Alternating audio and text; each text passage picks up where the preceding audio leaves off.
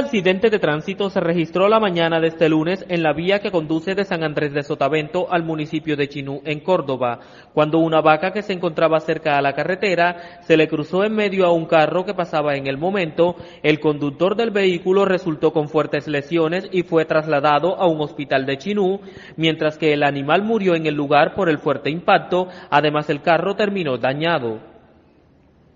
Las autoridades hicieron presencia en el lugar para determinar la responsabilidad de los hechos.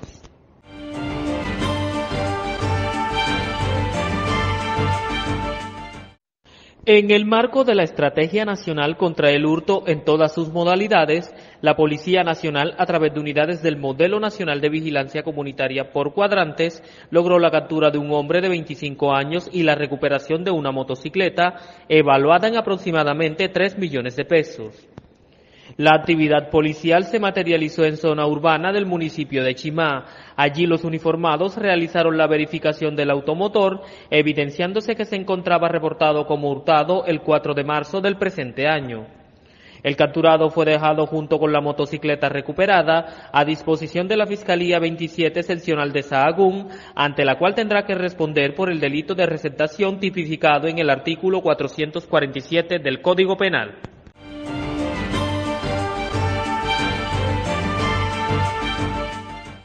Un taxista identificado como Luis Alberto Agudelo Jiménez sirvió a una empresa internacional para que hiciera la entrega de dinero a las autodefensas campesinas de Córdoba y Urabá a cambio de garantizar protección de las plantaciones de banano. La persona fue condenada a tres años de prisión por servir como intermediario para una empresa multinacional bananera que le encargaba entregar dineros a grupos paramilitares entre los años 1996 y 1999. La investigación fue asumida por un fiscal de la Dirección Especializada contra las Violaciones de los Derechos Humanos, quien recolectó pruebas suficientes para demostrar la culpabilidad del taxista.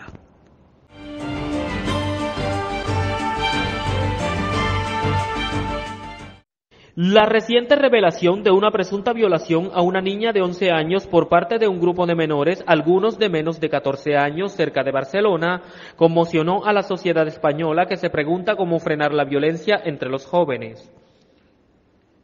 Los hechos revelados esta semana por los medios locales habrían ocurrido el pasado noviembre cuando una niña de 11 años que paseaba por un centro comercial de Barcelona en el área metropolitana fue sorprendida por un grupo de seis menores que la amenazaron con un cuchillo para llevarla a los lavabos donde la violaron según información de varios medios locales.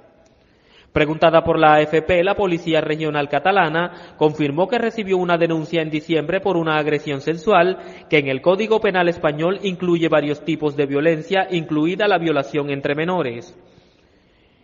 El organismo declinó dar más información sobre el caso, ya que implica a menores de edad.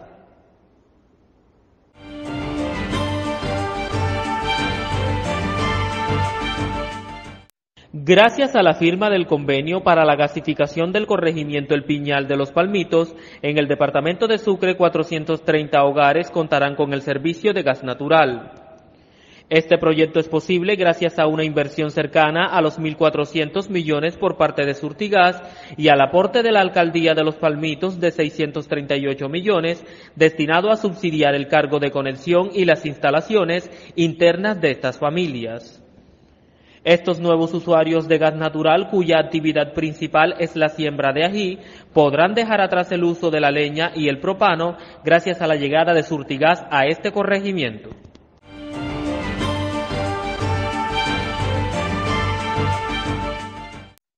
Una tragedia sucedió en Santander por la explosión de una vivienda al norte de Bucaramanga que dejó un menor fallecido y dos adolescentes con graves heridas quienes permanecen hospitalizadas. La vivienda ubicada en Villas del Cabriano dejó como consecuencia tres menores lesionados, dos mujeres y un niño. Los menores gravemente lesionados fueron trasladados al Hospital Universitario de Santander, pero el niño de 11 años falleció debido a las quemaduras que sufrió en el 80% de su cuerpo. Pese a que inicialmente se creyó que la explosión fue originada por un cilindro de gas, las autoridades descartaron la hipótesis.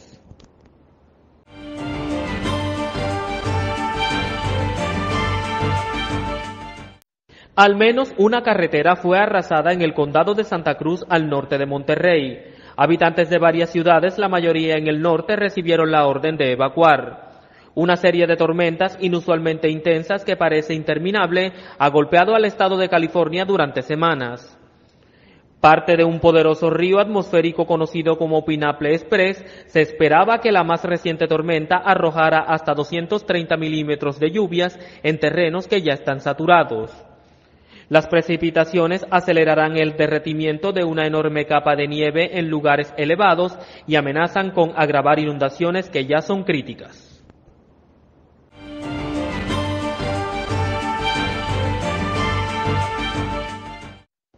El secretario del Interior del Departamento de Córdoba, Jairo Vaquero Puentes, informó sobre la normalidad en materia de movilidad por las vías del departamento. Según el funcionario, los bloqueos que se registraban en las rutas hacia Puerto Libertador, San José de Uré y Ayapel fueron levantados por la fuerza pública. Las poblaciones de Montelíbano, Ayapel, San José de Uré y otras del sur del departamento se habrían visto afectadas por el desabastecimiento de alimentos debido a los bloqueos del paro minero. Sin embargo, las autoridades departamentales aseguran que están dadas las garantías para movilizar estos insumos. En este sentido, Vaquero Puentes anunció que se organizarán caravanas humanitarias para escoltar a los vehículos que transportan suministros y combustibles hacia otros municipios.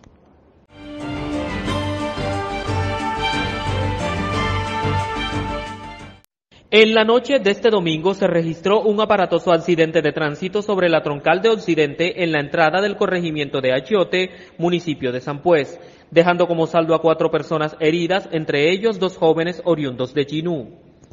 Preliminarmente se conoció que cuatro personas se movilizaban a bordo de una moto de color negro con destino al corregimiento de Piedras Blancas en San Pues, pero en la entrada de Achiote perdieron el control y chocaron contra la baranda de protección, saliendo expulsados de la moto. Tres de los heridos quedaron identificados como Fabiana Misal Lidueña, residente en el corregimiento Piedras Blancas, Jair Álvarez Bello y Ángel Álvarez Ramírez, oriundos del vecino municipio de Chinú. Según las autoridades, los jóvenes, además de ir bajo los efectos del alcohol, llevaban sobrecupo en la moto.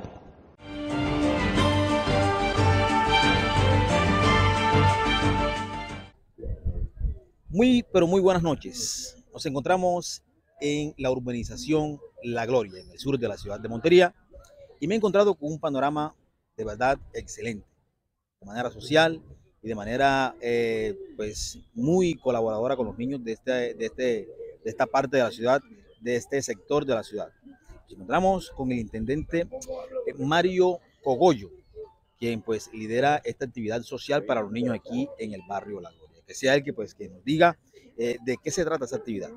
Bueno, sí, buenas noches. Nosotros pertenecemos al Grupo de Protección de la Infancia y Adolescencia de la Policía Metropolitana de Montería. ¿Qué buscamos con esto nosotros? Generar conciencia en la comunidad, que es nuestro deber como sociedad y como adultos, proteger los, derechos de los niños, niñas y adolescentes. ¿Qué buscamos con esto también? Hombre, eh, generar para los, nuestros niños, niñas y adolescentes unos entornos seguros, tanto en los lugares de residencia como en las partes donde ellos estudian, en los diferentes colegios donde ellos van a estudiar. Buscamos eh, eh, tipos de recreación, eh, charlas preventivas en los colegios y acá en el entorno donde ellos conviven, generarles una, una percepción de seguridad, que ellos se sientan respaldados y que se sientan apoyados por la Policía Nacional. ¿Qué, otras, qué otras formas de divertirse le llevan ustedes a los niños y en qué sectores de la ciudad están ustedes presentes con, esta, con estas obras? Bueno, nosotros tenemos cobertura en todo lo que es el área metropolitana de Montería. Hacemos, eh, nosotros manejamos un programa de prevención que se llama Abre tus ojos, que trata todas las temáticas que tienen que ver con niños, niñas y adolescentes.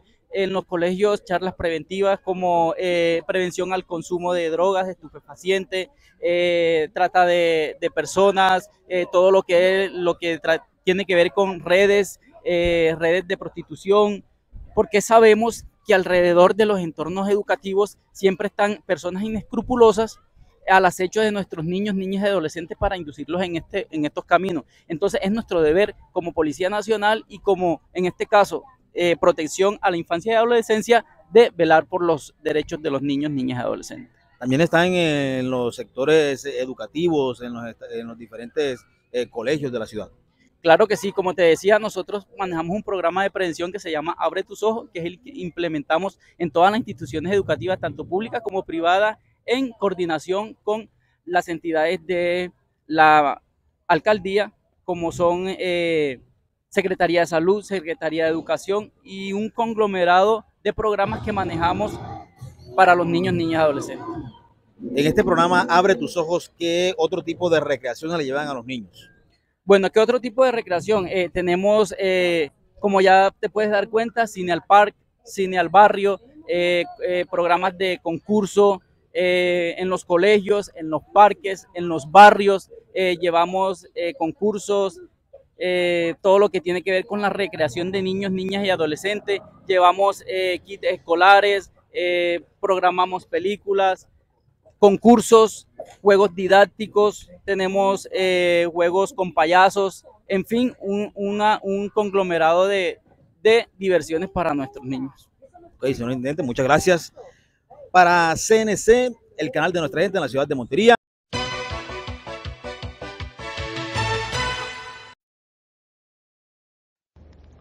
Un hombre de 61 años de edad en el municipio de Planeta Rica, en Córdoba, fue capturado por la policía señalado por el delito de acto sexual abusivo con menor de 14 años. El abuso se habría presentado en el mes de octubre del año 2022.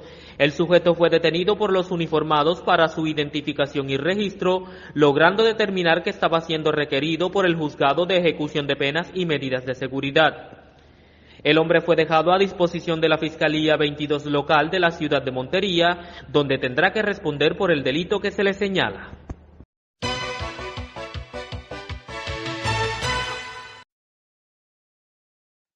Varias personas murieron y otras resultaron gravemente heridas en un tiroteo el jueves por la noche en una iglesia de Hamburgo, afirmó la policía de la ciudad alemana. Según las primeras indicaciones, se hicieron disparos en una iglesia en la calle, en un distrito, y varias personas resultaron gravemente heridas y algunas murieron, señaló la policía en Twitter. Los disparos ocurrieron a las 21 horas de la noche, dijo la policía, y agregó que fueron uno o más atacantes.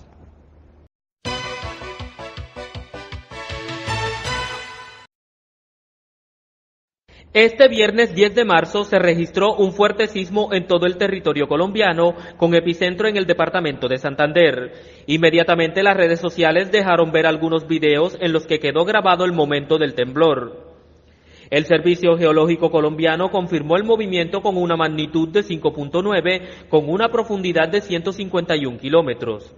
El epicentro se ubicó en Los Santos, Santander, pero varios reportes señalaron que se sintió en varias zonas del país, entre ellas Bogotá, Medellín, Montería y Cincelejo, y también alcanzó a ser percibido en Panamá y Venezuela.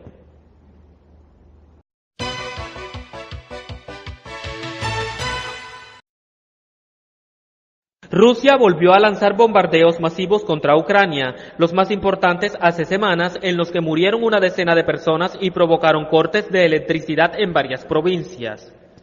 El presidente ucraniano Volodymyr Zelensky denunció las tácticas miselares rusas tras el ataque masivo con misiles que alcanzó 10 de las 27 regiones del país, entre ellas Kiev, y afectó a las infraestructuras energéticas.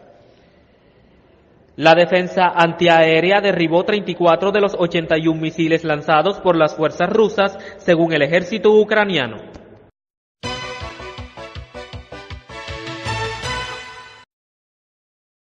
Un operativo de la policía dejó como resultado la incautación de una mercancía ilegal que contenía una alta cantidad de zapatos y gorras de diferentes marcas, evaluado en aproximadamente 68 millones de pesos.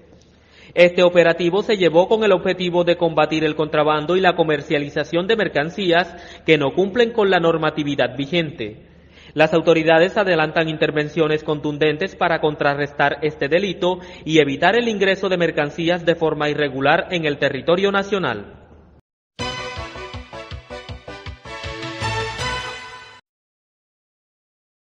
El gobierno nacional ha dejado en claro que mientras persistan los bloqueos en las carreteras del país, no habrá diálogo con los mineros en paro desde hace nueve días en el Bajo Cauca y sur de Córdoba. El ministro del Interior, Alfonso Prada, quien lidera las negociaciones con los manifestantes, ha advertido que la posibilidad de regresar a la mesa de diálogo es nula mientras los bloqueos persistan. En un esfuerzo por buscar una solución pacífica al conflicto, el gobierno ha aceptado una mediación propuesta por la Iglesia Católica.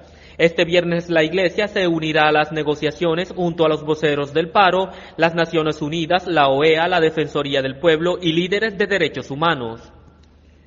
En la reunión el gobierno presentará la propuesta de inversión en el territorio y se espera que se alcancen acuerdos que beneficien a los pobladores y eviten la ilegalidad.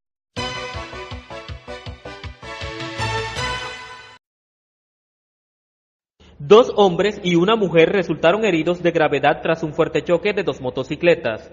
El hecho se registró la noche del jueves 9 de marzo, cerca de las 10 pm en el barrio La Esperanza de Montería, exactamente en la calle 43 con carrera 2W. Se conoció que el choque de las motos se dio cuando una de ellas esquivó un vehículo que estaba estacionado en la vía y de repente se vio de frente con otra moto.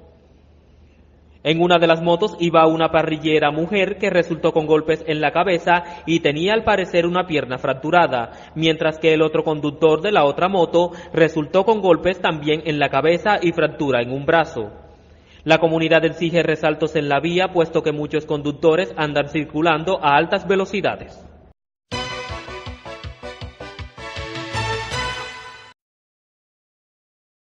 En la mañana de este viernes 10 de marzo se registró en el municipio de Cereté un choque entre un camión transportador de cervezas y un bus de servicio público de la empresa Rápido Ochoa que tenía como destino la ciudad de Cartagena.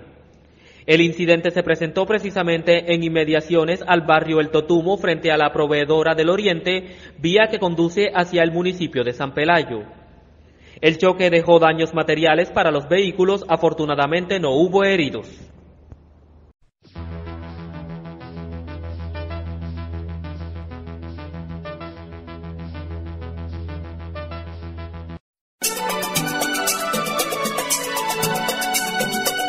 El centro de la moda es ropa para toda la familia, buenos precios, calidad, todo en un solo lugar. Plástico, calzado, cacharrería y para el hogar, todo lo puedes encontrar. Visita el centro de la moda en la calle 35 con carrera tercera esquina Montería, porque la imagen lo es todo. El centro de la moda.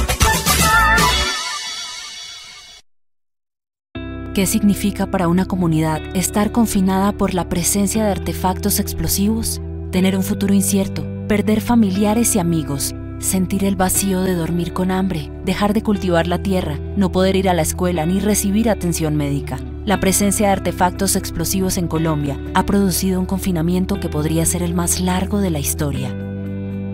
Numeral el confinamiento más largo. Comité Internacional de la Cruz Roja.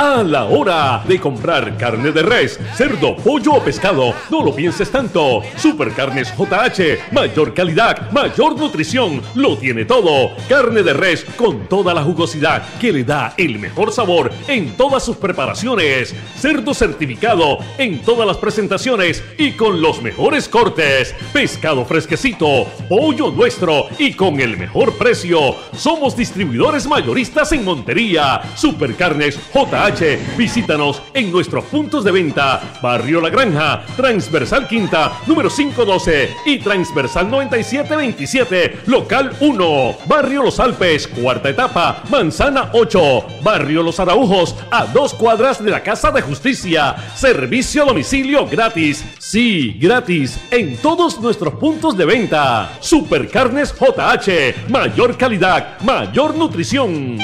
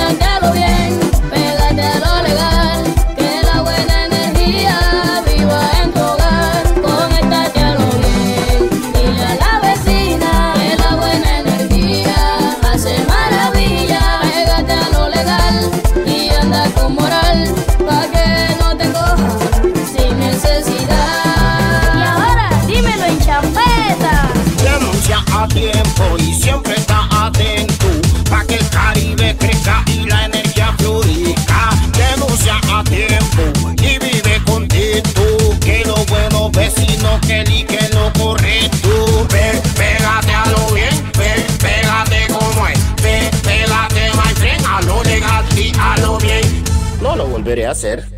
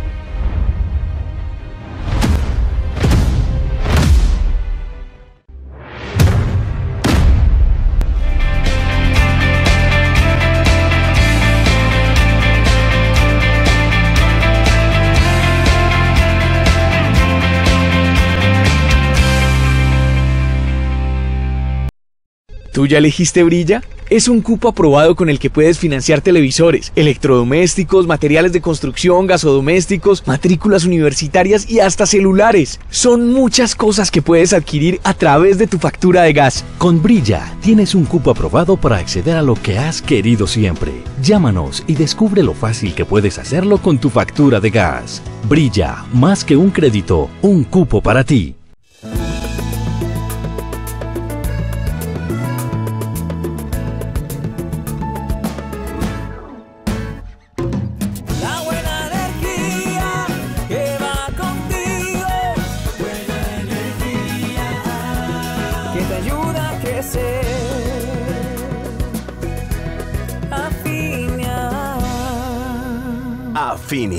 La buena energía va contigo.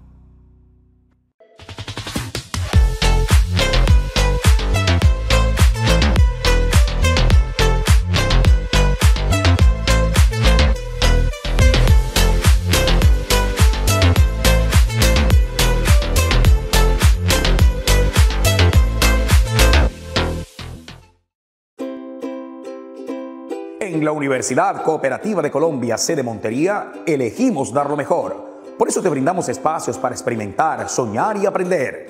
Inscripciones abiertas en los programas de Administración de Empresas, Contaduría Pública, Derecho, Ingeniería de Sistemas y Psicología. Especializaciones en Derecho Procesal Penal y Gerencia de Impuestos. Informes, calle 52A, número 679, Barrio La Castellana. Teléfono 784-8040, extensiones 5129 y 5122, www.ucc.edu.co para superar tus expectativas.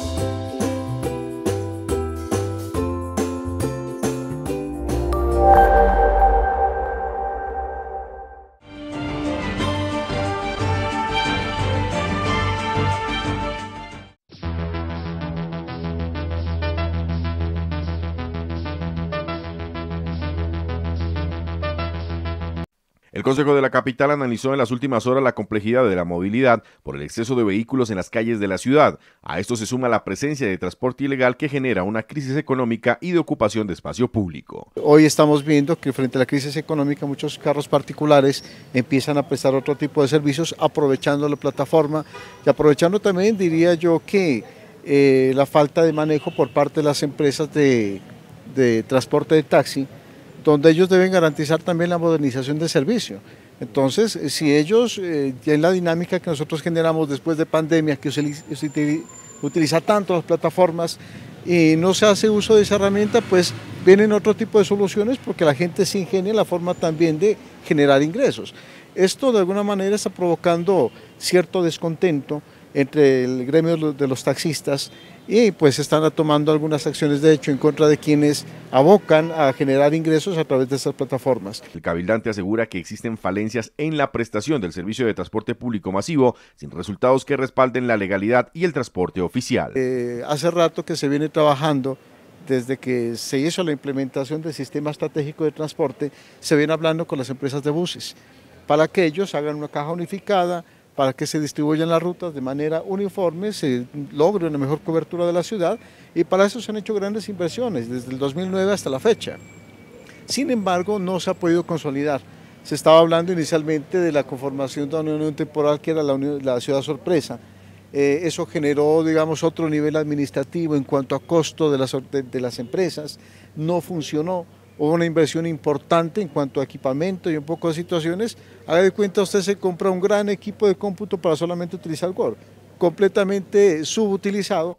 En el Consejo de Pasto se denunció que más de 15.000 motocicletas ingresan diariamente para realizar actividades informales de transporte de pasajeros, generando una mayor problemática por congestión y tráfico vehicular. No se puede ampliar el cupo de taxis porque no hay eh, dónde colocarlos, ya hay mucho vehículo dentro de la ciudad. Eh, por otra parte, la cantidad de mototaxistas que hay, creo que de acuerdo a un estudio que se hizo en SESMAC, del Observatorio de Ciudad, son 75 mil motos las que están eh, rondando. Y usted multiplique más o menos un ingreso de 40 mil diarios por la cantidad de motos en 30 días, la economía informal del transporte es la que está sosteniendo la ciudad en este momento. Lamentablemente es economía informal, lo que no deja bien parado porque eso no genera desarrollo en la ciudad. El debate de los entes vinculados a esta crisis de la movilidad se ampliará en el Consejo de Paso con la revisión de cifras de venta de automotores, número de vehículos matriculados en la Secretaría de Tránsito y Transporte, planes operativos de control en toda la capital.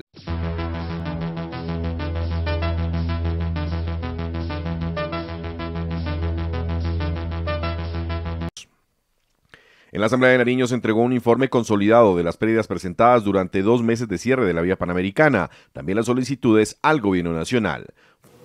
Aquí lo que tiene que manifestar el gobierno es decretamos la emergencia económica, social y ambiental que la venimos solicitando todos los nariñeses y que el gobierno a través de la Dirección Nacional para la gestión del riesgo le ha sacado el cuerpo.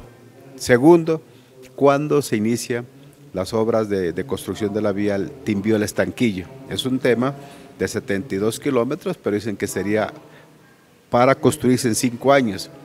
Ese plan de choque tiene que hacerse para construirse por lo menos, si quieren, dos años para superar la emergencia. Tercera, el tema de, los, subsidios. No se ha pagado un peso a los transportadores que traen la combustible, a los lecheros, eh, la compra de la, de la producción, es decir, todo eso hace que se genere un, caos, una desinformación, porque al final, porque al final la gente va a preferir no traer combustible a perder, por ejemplo, porque está perdiendo casi que 1.100 pesos por cada galón traído desde, desde Neiva o traer, traerlo desde, desde Cali.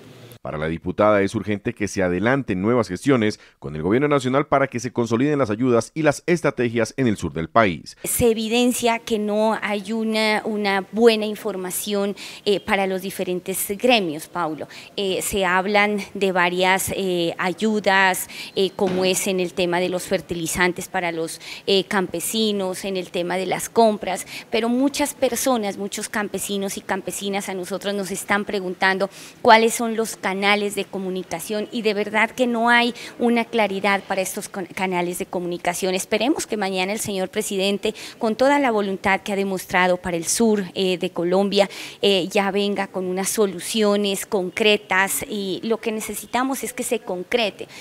El secretario de Gobierno de Nariño consolidó las pérdidas por sectores estratégicos que en 60 días ponen en riesgo el equilibrio financiero del departamento.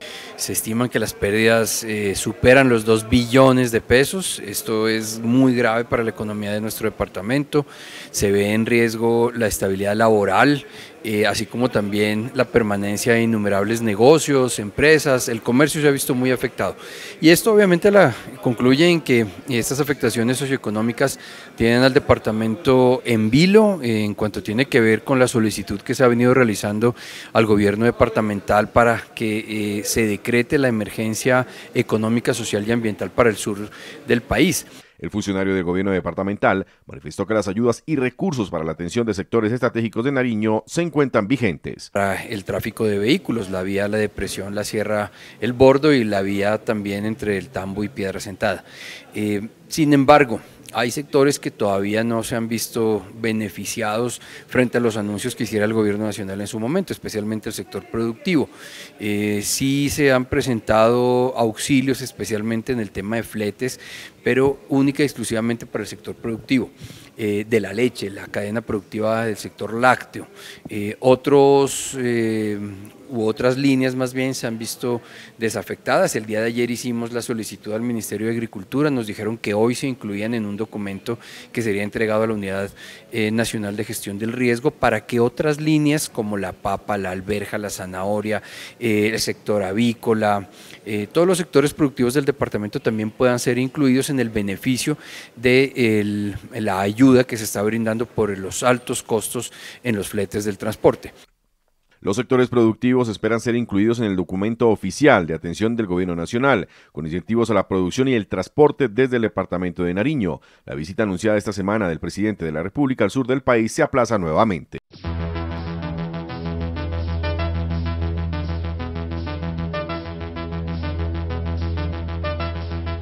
con el fin de articular acciones para intervenir los espacios y establecimientos que realizan la toma de yagé combinada con sustancias psicoactivas ilegales como cocaína y marihuana, la Secretaría de Salud Municipal convocó a las Secretarías de Gobierno, Educación, Desarrollo Comunitario, Dirección Administrativa de Juventudes y el Instituto Colombiano de Bienestar Familiar, asimismo como el Instituto Departamental de Salud de Nariño. Estamos haciendo un trabajo articulado con diferentes instancias, el Instituto Departamental de Salud de Nariño, Secretaría de Gobierno, Espacio Público, Desarrollo Comunitario, una importante y activa participación del Instituto Colombiano de Bienestar Familiar. Tenemos todas estas instancias trabajando eh, al unísono en una sola estrategia que nos permite implementar en el municipio de Pasto un control de diferentes situaciones como el consumo de sustancias psicoactivas, la inspección, vigilancia y control sobre esos establecimientos comerciales que hoy están ofertando consumos de yagé, consumos de hongos, consumos de diferentes sustancias que a la postre, por un uso irregular o un uso no controlado, podrían generar diferentes situaciones como depresiones del sistema nervioso central, depresiones de la organicidad, que pueden inclusive conducir a diferentes patologías y hasta la muerte. Por eso nosotros estamos buscando en este momento, con diferentes eh, instancias, definir y articular cómo controlar registros de INVIMA, eh, la venta desarticulada que hoy hay en diferentes establecimientos de lo que se denomina el cannabis medicinal. Hay que recordar que el cannabis medicinal está autorizado en nuestro país bajo ciertas condiciones y lineamientos del Ministerio de Salud. No es una, un cultivo artesanal dentro de una casa, una extracción con mezcla con otro tipo de sustancias. Eso no es un cannabis medicinal y debemos tener muy en cuenta que el consumo indiscriminado, el consumo irregular de estas sustancias que venden en calles, en tiendas, pues no puede continuar de una manera indiscriminada porque podría generar primero engaños, falsas expectativas y hasta daños en la salud tanto mental como orgánica de los ciudadanos. El secretario de Salud Javier Andrés Ruano González manifestó que se pretende implementar en el municipio un control en el consumo de sustancias psicoactivas por medio de la inspección, vigilancia y control a los establecimientos comerciales que ofertan consumo de yagé, hongos y diferentes sustancias que por uso irregular podrían generar depresiones del sistema nervioso central y diferentes patologías que afectan a la salud de las personas. Estaremos informándoles a todos cómo va a ser este control, cómo lo vamos a hacer y lo vamos a hacer también con el uso y el apoyo de las autoridades indígenas, de ese conocimiento y esa sabiduría ancestral que ellos tienen en respeto a sus territorios y en respeto también a las comunidades indígenas para poder crear herramientas que permitan a la ciudadanía identificar cuáles son los riesgos, qué decisiones debe tomar y cuáles son las conclusiones de aquellos elementos que no se pueden comercializar de manera indiscriminada, de aquellas citaciones a consumos de yagé por personas no autorizadas en establecimientos comerciales tales como hoteles, haciendas, viviendas familiares que no cuentan con aquellos elementos en salud que podrían soportar en algún momento cualquier condición crítica. Por otra parte, la profesional especializada del área de salud, Ruth Cecilia de la Cruz, aseguró que se ejecutarán acciones conjuntas entre la Secretaría de Gobierno y la Policía Metropolitana para hacer control a ciertos establecimientos que realizan tomas de yagé o algunos eh, tipos de terapias que generan efectos nocivos, especialmente en los jóvenes o en la población afectada por patologías mentales. Una es que se requiere hacer acción conjunta con Secretaría de Gobierno para empezar a hacer control sobre cierto tipo de establecimientos que probablemente están eh, eh, haciendo expendio de algún tipo de este tipo de terapias también. Por otro lado, desde la Secretaría de Juventud también establecer algún tipo de control sobre sustancias psicoactivas como es el cannabis en la cantidad de eventos que ellos tienen. Igualmente con Secretaría de Desarrollo Comunitario, eh, lograr eh, la unión y la participación de nuestros gobernadores, de nuestras autoridades indígenas, como un tipo de manifestación frente al respeto al uso de este tipo de sustancias, toda vez de que eso no es del uso cotidiano de cualquier persona, sino que se hace en otro entorno, bajo otros parámetros de la cosmovisión que las comunidades indígenas tienen. De igual manera, de manera preventiva, se quedó en que Vamos a trabajar conjuntamente con educación, con gobierno, con ICBF y de la mano del Instituto Departamental para hacer la acción educomunicativa y pedagógica en los escenarios y en las instituciones educativas y en los escenarios comunitarios.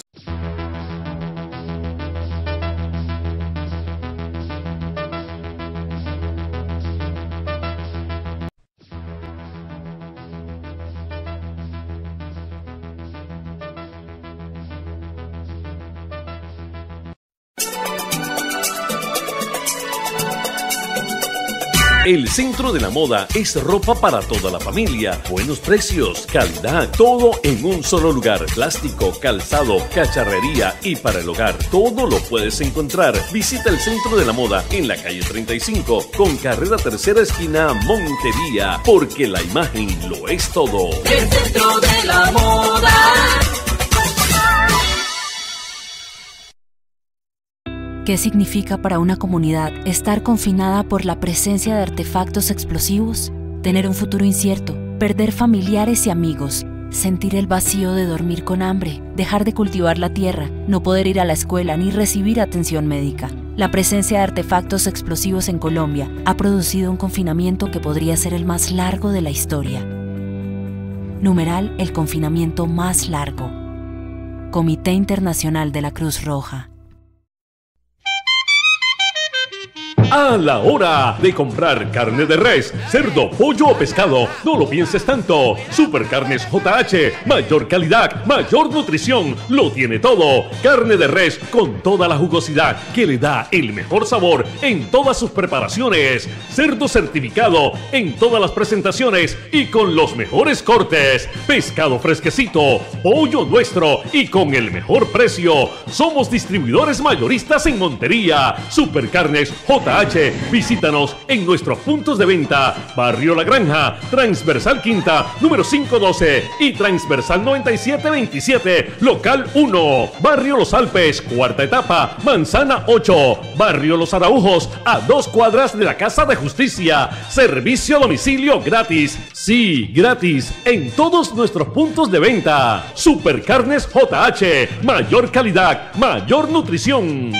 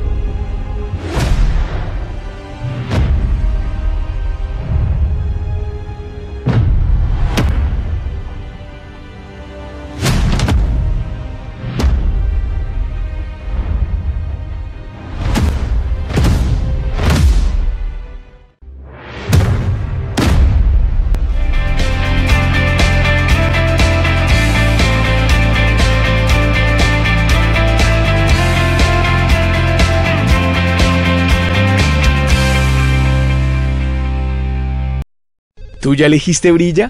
Es un cupo aprobado con el que puedes financiar televisores, electrodomésticos, materiales de construcción, gasodomésticos, matrículas universitarias y hasta celulares. Son muchas cosas que puedes adquirir a través de tu factura de gas. Con Brilla tienes un cupo aprobado para acceder a lo que has querido siempre. Llámanos y descubre lo fácil que puedes hacerlo con tu factura de gas. Brilla, más que un crédito, un cupo para ti.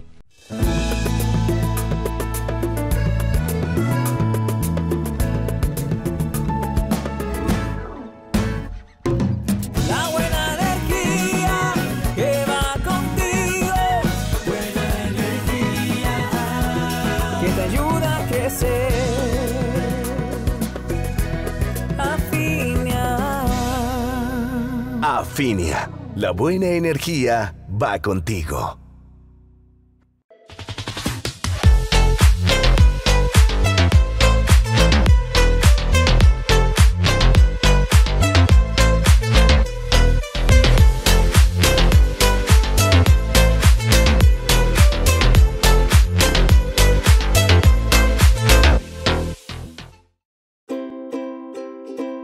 En la Universidad Cooperativa de Colombia, sede Montería, elegimos dar lo mejor. Por eso te brindamos espacios para experimentar, soñar y aprender. Inscripciones abiertas en los programas de Administración de Empresas, Contaduría Pública, Derecho, Ingeniería de Sistemas y Psicología. Especializaciones en Derecho Procesal Penal y Gerencia de Impuestos. Informes, calle 52A, número 679, Barrio La Castellana. Teléfono 784-8040, extensiones 5129 y 5122. www.ucc.edu.co para superar tus expectativas.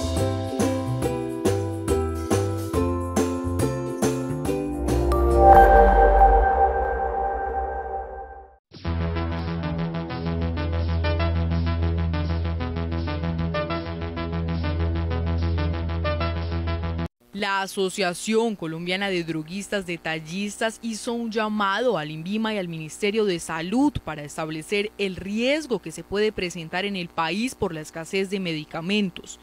Cerca de 1.242 de estos y de diferentes clases se encuentran escasos en el país.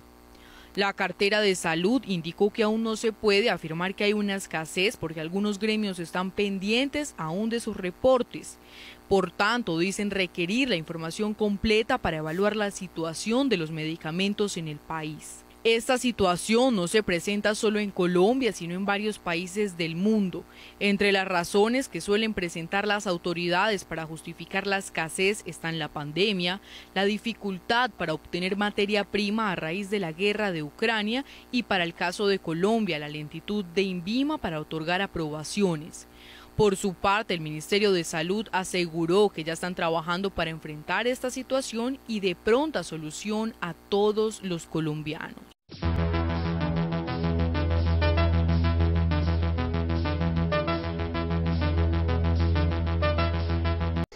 El Servicio Geológico Colombiano, a través del Observatorio Vulcanológico y Sismológico de Pasto, advirtió que más de 8.000 sismos se han registrado en las últimas horas en la zona de influencia volcánica Chiles Cerro Negro. Varios de estos eventos han sido sentidos por la población cercana. El Servicio Geológico Colombiano, a través del Observatorio Vulcanológico y Sismológico de Pasto, se permite informar que a partir del día de ayer, 9 de marzo, se registra un incremento en la actividad del volcán Chiles. Hasta este momento, llevamos un registro aproximado de 8.000 sismos, los cuales se han localizado a, a unos 3.5 kilómetros hacia el sur del volcán, a profundidades no mayores de 6 kilómetros. Eh, algunos de estos, sentidos, de estos eventos han sido sentidos por algunos pobladores de zonas alrededor del volcán. Es importante mencionar que esta actividad se enmarca de otra que se ha venido reportando y que corresponde a eventos de muy baja frecuencia que se asocian principalmente a movimiento de fluidos. Desde el Servicio Geológico Colombiano se informa que se seguirá informando sobre la actividad sísmica en la región y los cambios que se reporten en las estaciones cercanas al volcán. Adicionalmente, eh, la red de deformación ha registrado unos cambios eh, también asociados a esta actividad que se reportan principalmente en las estaciones cercanas al volcán. Estos cambios solamente son perceptibles con los equipos que nosotros tenemos instalados. Eh, la deformación no se alcanza a observar al ojo humano. El servicio geológico los mantendrá informados de cualquier cambio que se siga registrando.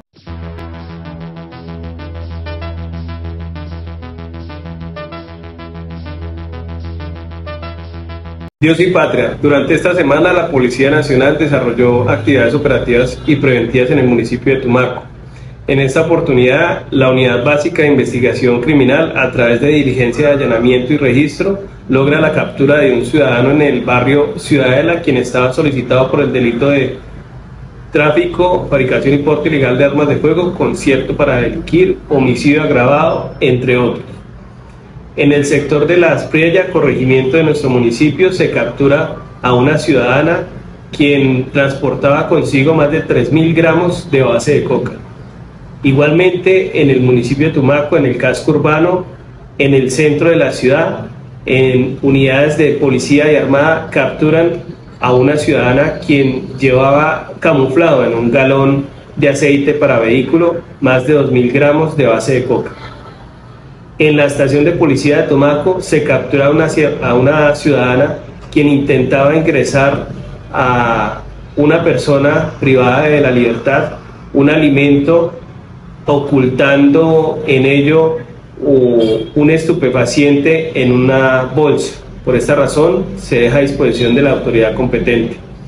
Asimismo, en otro sector del municipio se captura a una persona por el delito de daño en vida ajeno quien causaba eh, valga la redundancia, eh, daños a una residencia y por esta razón eh, fue capturada y puesta a disposición. Y finalmente también se captura a otra persona por el delito de tráfico y porte de estupefacientes, la cual llevaba más de 40 gramos de bazuco. Es importante estas capturas durante esta semana, desestimulando el delito de microtráfico en el territorio. Dios y patria, es un honor ser policía.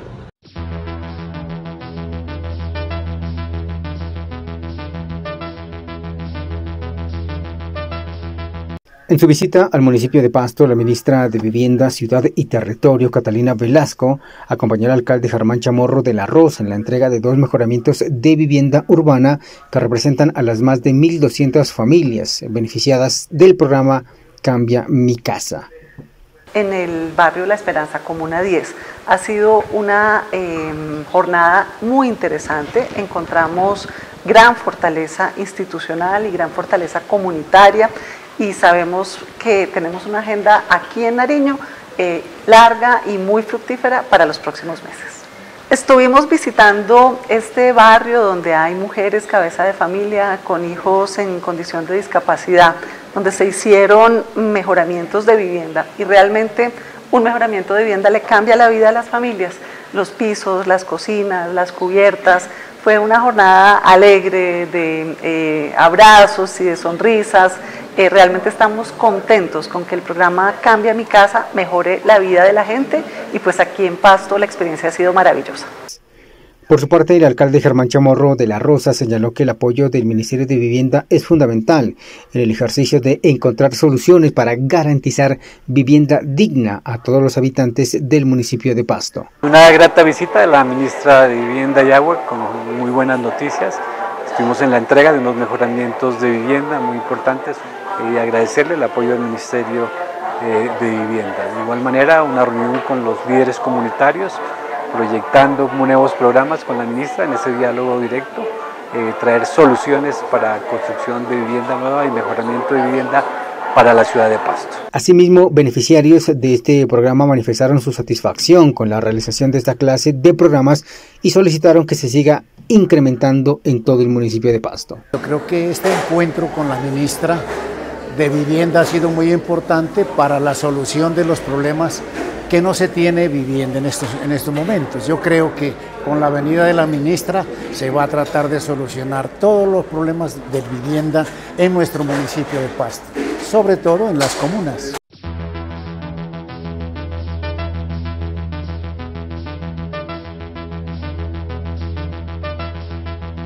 En Ipiales, desde el 8 de marzo del 2020, la batucada subversiva rompe con el centralismo de las manifestaciones en la capital nariñense con el objetivo de lograr una intervención política en el espacio público que les permita expresar la lucha feminista a través del arte. El origen de la batucada eh, subversiva nace en el año 2020 eh, por una necesidad de hacernos escuchar ante un gobierno y ante unas circunstancias conservadores y tradicionalistas, por los cuales eh, decidimos reunir, convocar eh, amigas, compañeras que han estado dentro de los procesos feministas para replantearnos y pensarnos una IPIALES diversa, una IPIALES en donde se hable de políticas públicas basadas en género para hablarnos de una seguridad, para hablarnos de una necesidad de que el gobierno, de que la alcaldía, el consejo como tal, eh, busquen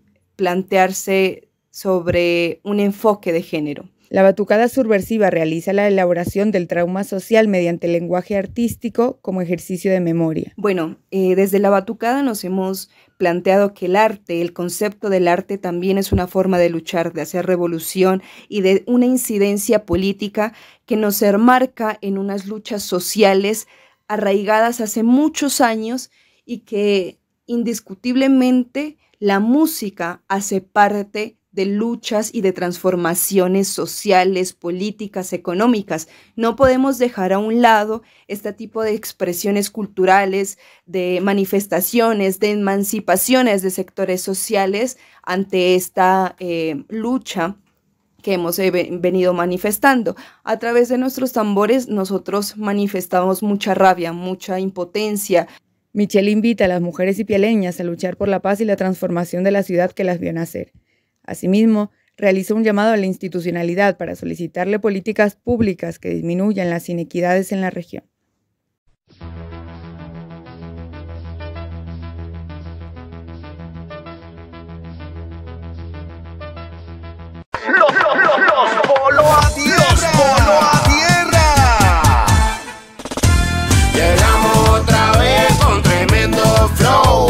Que cuides tu energía con toda la precaución. A la ilegalidad le digas que no. Moviendo la cabeza. No, no, no, no.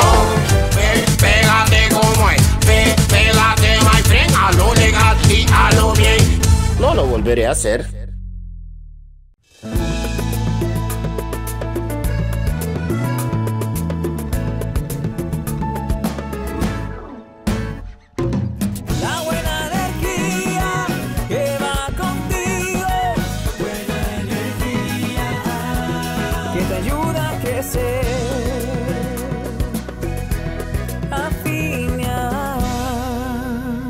Afinia, la buena energía va contigo.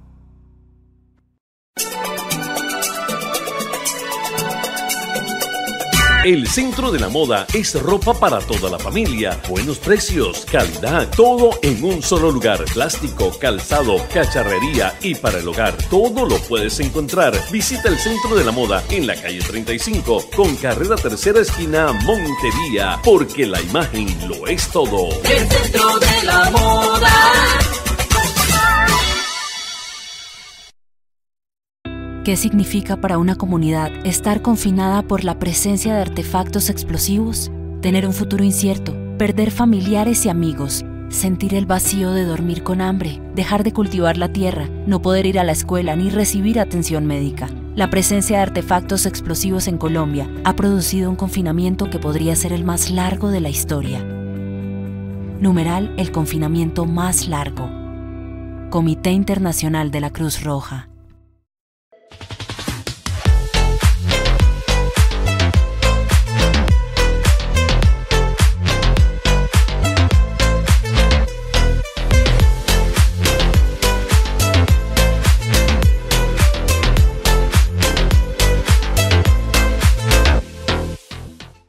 ¿Tú ya elegiste Brilla? Es un cupo aprobado con el que puedes financiar televisores, electrodomésticos, materiales de construcción, gasodomésticos, matrículas universitarias y hasta celulares. Son muchas cosas que puedes adquirir a través de tu factura de gas. Con Brilla tienes un cupo aprobado para acceder a lo que has querido siempre.